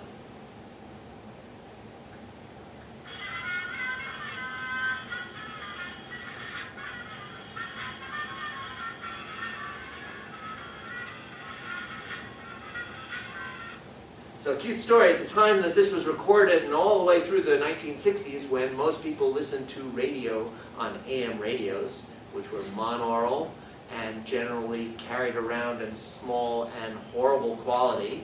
Um, and so if you were going to try to produce a hit record, you didn't want that hit record just to sound great in your living room with a good stereo. You want it to sound great when you're sitting by the pool with your friends listening to it on a totally crappy speaker which means that every recording studio that had this big mixing board and the tape decks and whatnot to mix down a record and had these really quality speakers so that you get everything sounding just right, also had a really crappy speaker that they would also direct the sound to to find out what it was going to sound like the way most people listen to it. Um, and the balance had to be good for that. Okay. Now where I want to head is towards music. So I have alluded to the notion that um, periodic sounds have special spectra. So we all know from the last two weeks that if I put a sound wave as a signal, that in the Fourier domain, it's just a spike. I'm only showing positive frequency from now on. Uh, these are slides from you know undergraduate classes, so they're, they're simplified. If I have a sound that is not a sine wave, but has some complicated waveform, but that complicated waveform repeats and repeats and repeats and repeats every capital T seconds, then if you do the Fourier transform, which is to say you do a dot product of this with various sines and cosines, those sines and cosines have to have a period of capital T. So they have to either be one uh, cycle per t seconds, or possibly two cycles per t seconds, or three cycles per t seconds. But if they're three cycles per t plus a little seconds, that means whatever they correlate with here, later on they're going to cancel. And so what you end up with is that if something is periodic, not a sine wave, but periodic, it repeats exactly, its spectrum will have frequencies of one cycle per t seconds, two cycles per t seconds, three cycles per t seconds, and so on. The spectrum will have what's called a fundamental frequency, that's the one at the bottom, and harmonics at double the frequency, triple the frequency, quadruple the frequency, quintuple, and so on. Okay, this is just comes out of the math, uh, and it's a fact of uh, life for every signal that's got a pitch. So, for example, here are two spectra, two signals in the signal domain, and their corresponding spectra, which look periodic the way I'm talking about it. Um, they are literally me.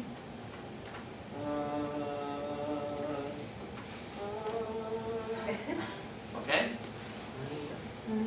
So what I was doing there uh, was two things. One is I was doing a voiced sound, and it was not perfectly periodic because I'm no machine.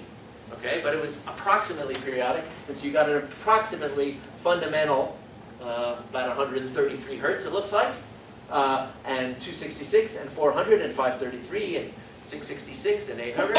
Okay, integer multiples of the fundamental frequency at which my vocal cords were vibrating. Uh, a second thing I did is I moved to a higher pitch, and I didn't go to any old higher pitch. I went to a higher pitch of double the frequency. In music, if you double the frequency, you get the same note on the piano. It's called an octave. It means if I was singing an ah, ah, if that was an ah, yeah, that was basically an A. So if I was singing a, uh, an A below middle C, then when I went up, A2 below middle C, when I went up, I was an A below middle C. Okay, it was the same note on the piano. Um, and what you see here is, here I have all these, uh, you know, fundamental, all these harmonics, and when I went up an octave, I got the second harmonic down here, the fourth harmonic down here, the sixth harmonic down here, the eighth harmonic down here, the tenth down here. I got every other one. Okay? And so those are thought of as musically being effectively the same sound. If you and I sang a song together and your voice was higher than mine, so you were singing an octave higher than me, and everybody else was listening, they were saying would say we're singing in unison. There's no harmony there. Because you're fitting on my spectrum perfectly. There's no extra stuff being added. Okay? And so there's a reason musically they're treated as the same signal effectively, not just in Western music. In basically all musics, the octave is a consonance. It sounds, it doesn't sound dissonant. It sounds crystal clear, fits together, no weirdness happening. Um, and so um, that's what you get from such a signal. Um, so again, um, you've got this fundamental, you've got these harmonics, and if you go to double the frequency, you're basically picking out every other. Okay, now I'm going to switch uh, from these slides to another set. Give me a second. Oh, uh, before we do that, we can use this thing. Oh God, do this behind my back? Wow, that's going to be hard. Um, I'll, I'll point at it and then I'll bring it to me so I can actually hit it. Okay, so this is there's a million online keyboards, but I assume not everybody in this uh, room knows a lot or any music theory. So I'm going to teach you a very scant amount of music theory that will feed into what I'm going to talk about next. Okay, now we're definitely with Western music because in uh, a number of other cultures the scale is not broken up into the same number of pieces in the same way that we do in the West. uh, in your European influenced music. In European influenced music, we use this scale, the scale which is sitting on the piano. So on the piano, you've got these black notes, which are the sharps and flats, and you got the white notes, which just have letter names, uh, which are not on here. This is, if you want to type this music, you're allowed to on this particular website. Okay, uh, this one has a dot on it. This is the note C. So it's C, D, E, F, G, A, B, C. That's one octave. You just got back to C. Notice this is below two black keys. This is below two black keys. This is below two black keys. So all these guys that are below two black keys in music are called C. And if I was singing C, and you were singing C, so I said C, C, and you were singing C, we'd be always singing the same note. I'd be singing this one, you'd be singing this one, and you'd be singing this one. And if we sang a piece together, when we moved up and down the keyboard together, we were always on the same note, the same place relative to this pattern, it would sound like there was no harmony going on. Okay? Now, when I did C, D, E, F, G, A, B, C, I was doing the white keys, but there's these black keys in between. Uh, all these steps are thought of as being equal, but what I mean by equal is the discussion for the next 20 minutes. Okay? So, C, C sharp, G, D sharp, E, F, F sharp, G. Now I'm going up what's called the chromatic scale. I'm not skipping any notes. To get from C up to C, the next C, I have to go 1, 2, 3, 4, 5, 6, 7, 8, 9, 10, 11, 12 steps. So in this Western thing, we have this scale we like to sing, the major scale, da da da da da da da dum, which we think of as major, da da bum bum bum. That's the major chord. It's the you know basis of all of Western harmony. But there are other notes in between, and the steps that I take when I take a major scale sometimes are big steps, two steps. Sometimes are small steps. Okay, but the full scale is all twelve. of them. Okay. Um, now, what I'm going to talk about in the rest of this is, okay, we've split it up our scale in this way. And I've also told you to get from C to C to C, where this is 128 hertz, and this is 256 hertz, and this is 512 hertz, actual numbers. Notice what I did. Every time I went up by the same interval, called an octave, I multiplied the frequency by 2. i.e., the musical scale is also logarithmic, just like the basilar membrane. So music is defined in a logarithmic fashion. The frequency domain is treated in this logarithmic fashion. Okay, This is because the, the year is organized by logarithmic fashion. Uh, we created the scale to match. probably. Um, the development of the scale and how we tune it logarithmically is, the fact that we tune it logarithmically is probably because all of audition treats uh, uh, frequencies logarithmically. How we split it up into these smaller pieces is the part I want to now talk about. So we want to decide what frequencies corresponds to these 12 notes. And not only, you know, once we have these 12 notes, we know the rest of them because we just multiply them by 2 or divide them by 2. So that's quite simple. But how do you decide where those 12 notes should be and what frequencies should correspond to them? So to talk about that, we need to talk about how instruments tend to work, which relates to what I was just talking about with harmonics. Uh, is this the right uh, slide set? Uh, yeah. Okay. So, suppose I have a string. Here are six strings. Okay?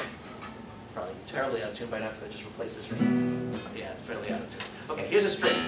When you grab a string, you have a thing under tension, and you pull it aside, and then it goes back and forth. And it creates a standing wave, just like my belt did a moment ago.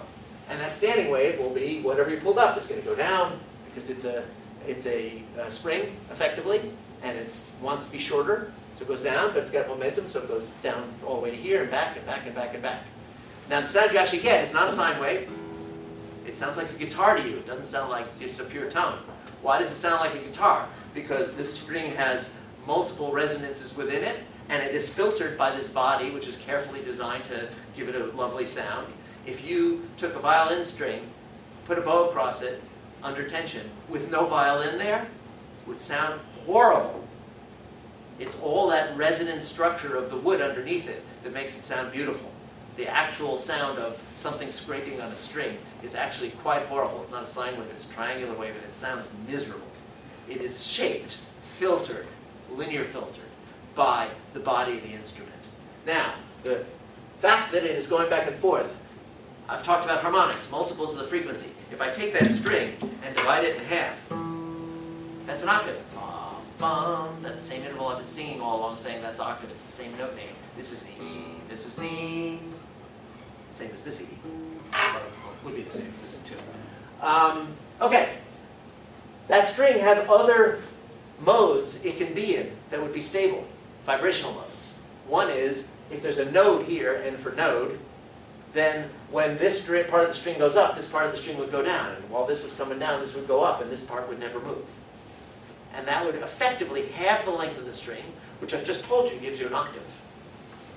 If I touch it way over here, I get a standing wave like this, which effectively quarters the length of the string and gets you another octave. But I can put my finger in other places and get a third and get triple the frequency, which is not an octave. Or another place and give you five. And this is intrinsic in every instrument under the sun. So I can take the string and briefly prevent it from, from um, uh, vibrating halfway along its length. Create a note. Or along a, a, quarter of its length. That's still an octave. So I've just done an octave twice. Bum, bum, bum. Okay, those are all the same note. But if I go a third of the way, that's not an octave, that's another note. If I go a fifth of the way, that's yet another note. So we've got this series that is intrinsic in every instrument you play.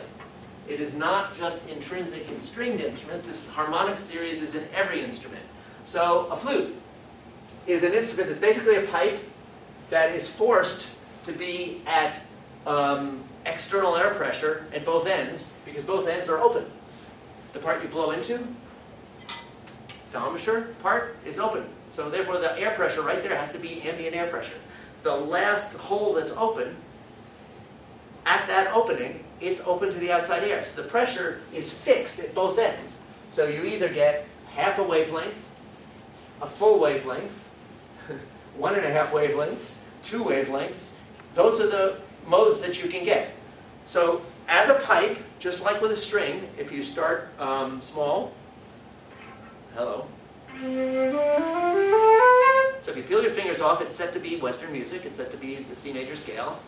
But that low note has in it, I'll go down to a B because it'll be easier, has in it all those harmonics. So there's a B. That's the second harmonic. That's the third harmonic. That's the fourth harmonic. That's the fifth, and I can keep going, but it gets painful, so I won't do it to you. But the point is, the sound of a flute is closer to a sine wave than any of the other instruments. That's why some people, especially at the high range of the flute, don't like to listen to it. It's a little piercing. But it isn't a sine wave. It has a timbre. It sounds like a flute, not like a guitar. When a guitar and a flute are playing exactly the same notes, that fundamental frequency is the same frequency, and we can equate them, give them the same amplitude. But then there are all those multiples, and the amplitudes of those will be different on a guitar than they will be on a flute. That's how you tell a flute from a guitar, is how much of each of the harmonics do you have? Okay. Um, right, so I did all that. Okay, so last bit we're going to do, really quickly, is this notion of, okay, musicians across the years have you know, created scales and played music. The notion of having 12 notes in a scale, you know, did not start in the, you know, medieval period in European church music. You know, the ancient Greeks had scales that were based on the 12 notes per octave scale. They were there. But they tuned them very differently. And the question is, how do you tune the scale? What do you use to do that? Okay? So, musical basics I've already talked about. You've got this uh, keyboard, it's got all these different notes on it. It takes 12 notes to, from, to get from one to the next. Uh, another piece of uh, the thing, so here's the C, D, E, F, G, G, A, B, C that I talked about a moment ago. Then you got these guys in between, which could be either called one step higher than the note below, so C sharp, or one step lower than the note above, D flat. And we call them the same note, and our instruments don't allow us to play something different for C sharp than D flat. Not always true. Back in Bach's time, there were keyboards that literally had separate C sharps from D flats. Um, and there were reasons that they wanted to do that, which I'm about to get into. Okay, so perception of pitch, as I said, is circular. You get back to C, and this whole thing, repeats. So you know that ba, ba are different notes. You can hear them as different, but But musically, you can also hear the way in which they're the same because they don't create a harmony. Um, okay, and finally, we've talked about the, the, um, the um, log aspect of it. Uh, let's skip over this because I said all this already. This was from a, a different lecture where I hadn't introduced any of this stuff. Oh, that's the harmonics. Let me skip that. Sorry. Sorry, that's just what I just did on the flute. Okay, next thing. When two frequencies are really close to each other, and you add them, they'll start possibly in phase with each other, but because they're slightly different in frequency, as you go forward in time, they'll drift apart and they'll get out of phase with each other. So often the way you tune your guitar, uh, let's see, should I do that with the flute? Probably won't be all that audible. It's bit easier to do it here. Uh, I might be able to do this. Oh, actually, let's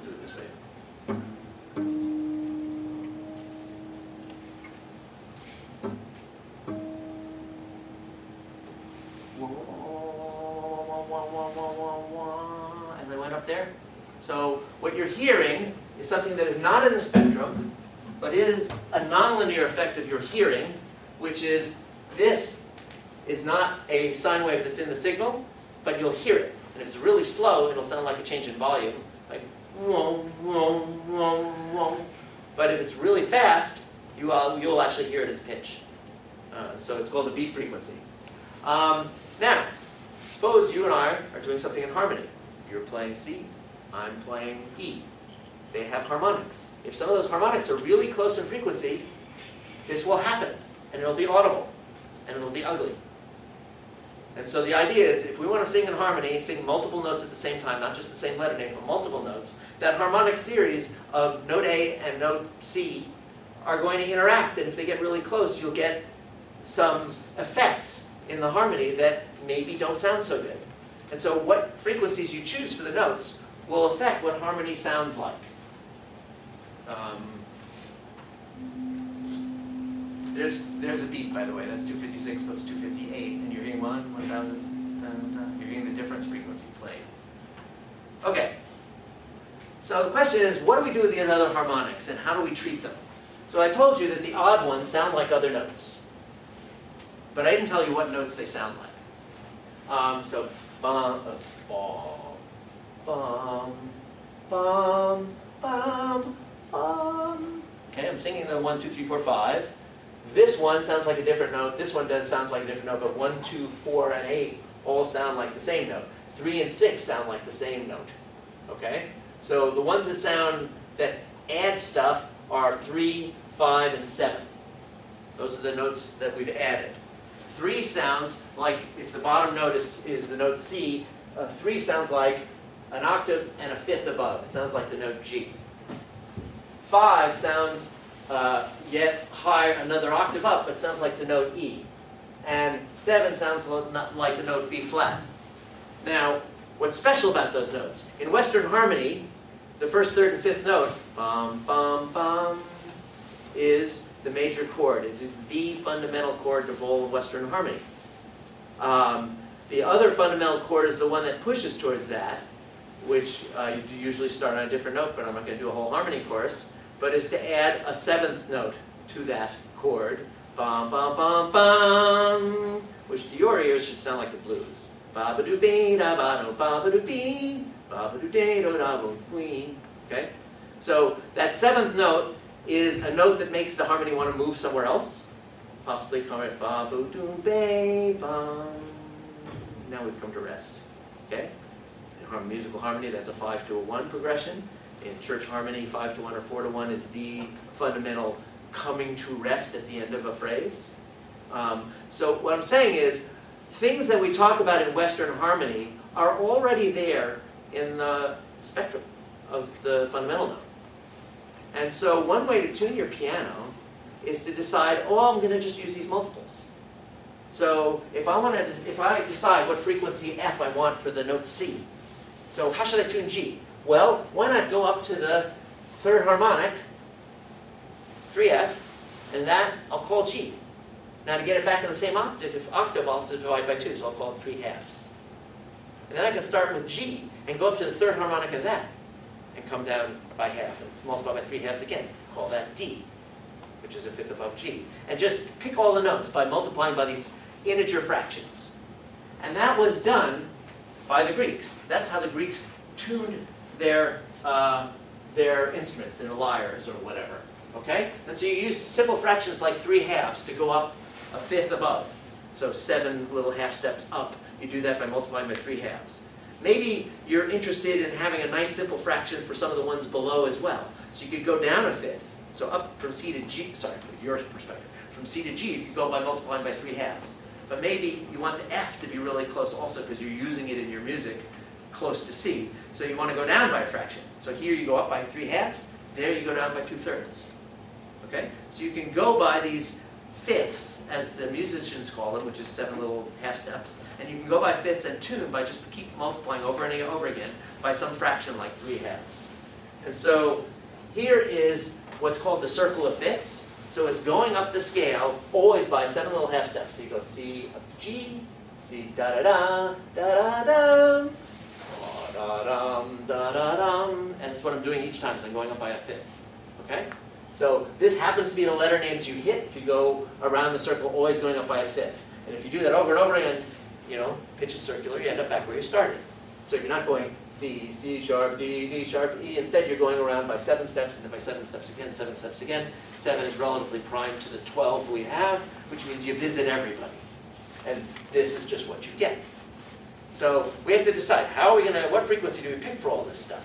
So let's pick a frequency for where we start, and then decide what's the ratio to everybody else. So if you do that, as the Greeks did it, you could multiply by three halves to get to G, multiply by three halves again to get to D, and again bring it back to the same octave. If it gets to be too big, because nine quarters is bigger than a factor of two, so you come back down, multiply by three halves again, multiply by three halves again, three halves again, three halves again.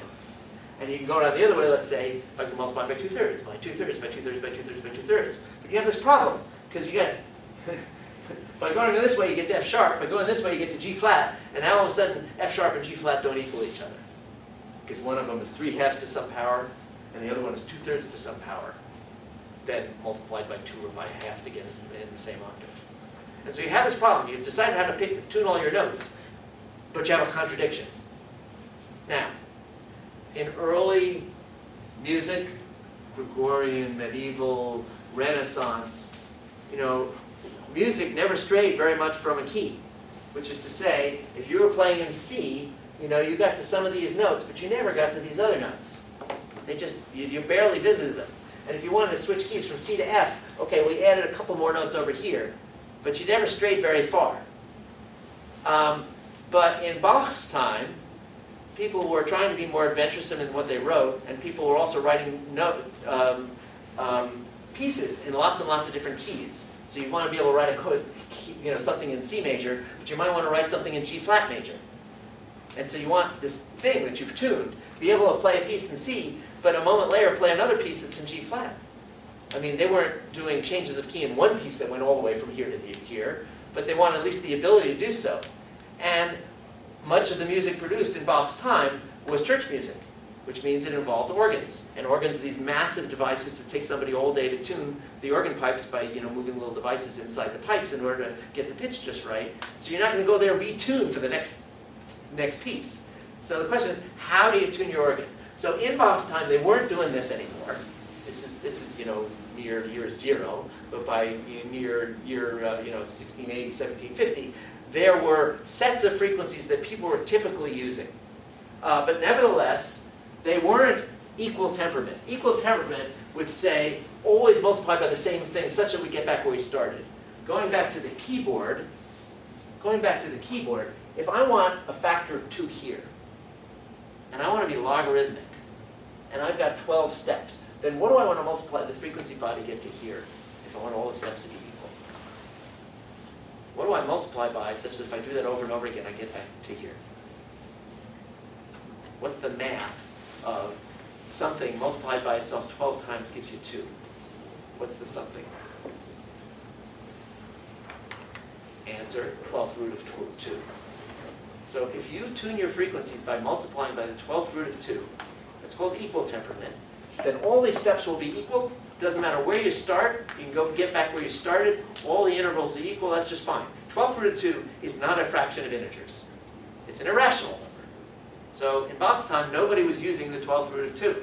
But at that time, they were beginning to understand that that would cause this. Now, in Bach's time, they also didn't want equal temperament because ba ba ba ba ba. That's the major seventh. That's going C up to B, which really pulls you to C. And if you want it to really pull, you want the B to be kind of sharp, so that it really gives you an emotional tug.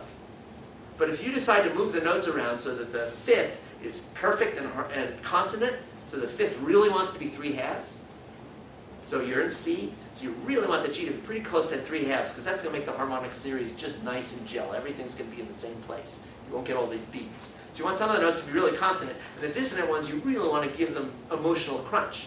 So you don't actually want 12th root of 2, because 12th root of 2 to the 7th power is not three halves. So everybody was inventing these tuning systems that weren't exactly equal temperament, and weren't like the Greeks, all fractions, but were something in between. They were all compromises. And there was a guy named Werckmeister who lived in Bach's time, just a few towns over from where Bach was, who published a whole book on tuning systems and introduced a whole bunch of suggested tuning systems. Now, what were the suggestions about? So there's this notion that if you write a piece in G major versus D major, it sounds different. Now, in equal temperament, it shouldn't sound different because all the intervals are all the same everywhere. So you just move the piece to a new key, just move everything up that many steps. All the intervals are the same, should sound the same. But with an orchestra, with actual instruments, it will sound different because it'll be in different parts of each instrument's range and the timbres will change. But also, with the frequencies they're using for tuning, the emotions actually were different for different keys. And people really had different notions of the emotion of D major versus G major versus C major. Some were bright, some were a little bit dull. And I'm not even talking about the minor keys where you go, go da da da da da instead of da da da da da. So the minor key sounds a little bit darker. But the point is, these 12 keys major and 12 keys minor had different emotions associated with them, and they wanted to preserve that in their tuning systems. They want to move the pitches around such that the emotional import of one key would remain different from another. So it turns out that uh, Werckmeister um, produced a bunch of tuning uh, systems in Bach's time, um, and it sounds fairly likely, and people uh, um, people who um, uh, study this, um, it seems fairly likely that Bach was aware of this work. So Bach was using a particular set of 12 notes called quarter comma uh, mean tone, which is what everybody was using then, which still was a tuning system that if you wanted to move really far away, so if you tuned for C major, if you're using this set of frequencies, if you move to G flat major, it would sound bad.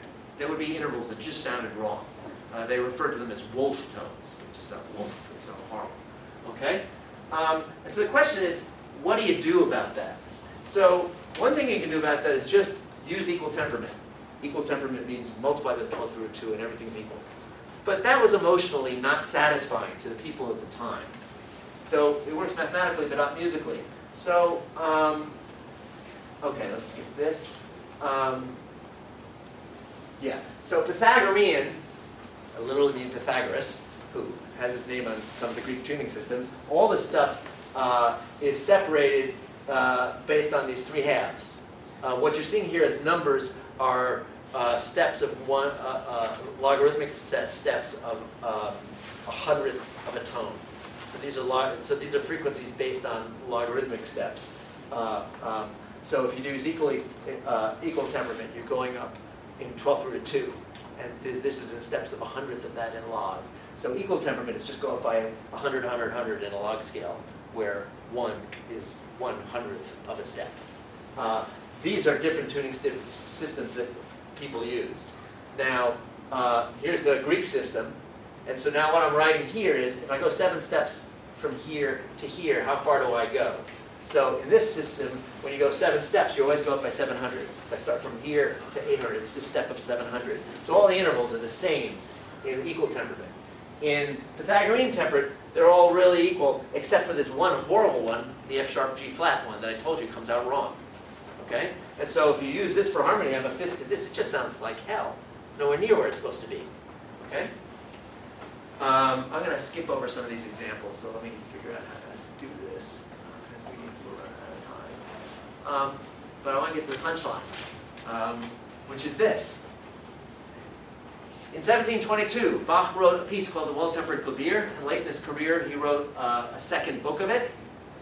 And it's a book of preludes and fugues, one of each in every key C major, D major, E flat major, F minor, every major and every minor key. So the 12 steps of the scale, two, two uh, keys for each, and two pieces for each of the keys. Okay, so it's a book of 48 pieces. And why did he write this piece of music? Well, at the time, it seems apparent he was aware of the work of Werckmeister. And Bach was not just a you know, musician, composer, performer. He also would go around tuning the organs for the churches in which he was hired to write a piece every week. Okay, and the man wrote you know a mass or something every week, massive output. Um, you know, working composers back then really worked.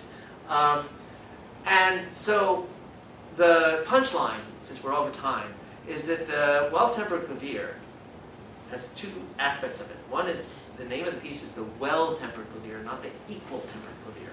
So tempered is how to tune, and it's he's advertising well temperament. He's probably advertising Werckmeister's one of his tuning systems, probably Werckmeister five, I think is. But regardless, a tuning system which, if you tune your instruments with this tuning system, music will sound good in every key. And how do I know that? Because here's 48 pieces. You can tune your clavichord keyboard uh, to this tuning system. Then you can take my book and open up to any page and play it, and it'll sound okay. So it's a piece that's an advertisement for a new, new tuning system, saying everybody you should adopt this new tuning system. Because if you do it, you can get away with playing in every key without having to retune your instruments. Okay? Uh, that's where I wanted to end. Uh, there's some nice musical examples in here, but we're over time.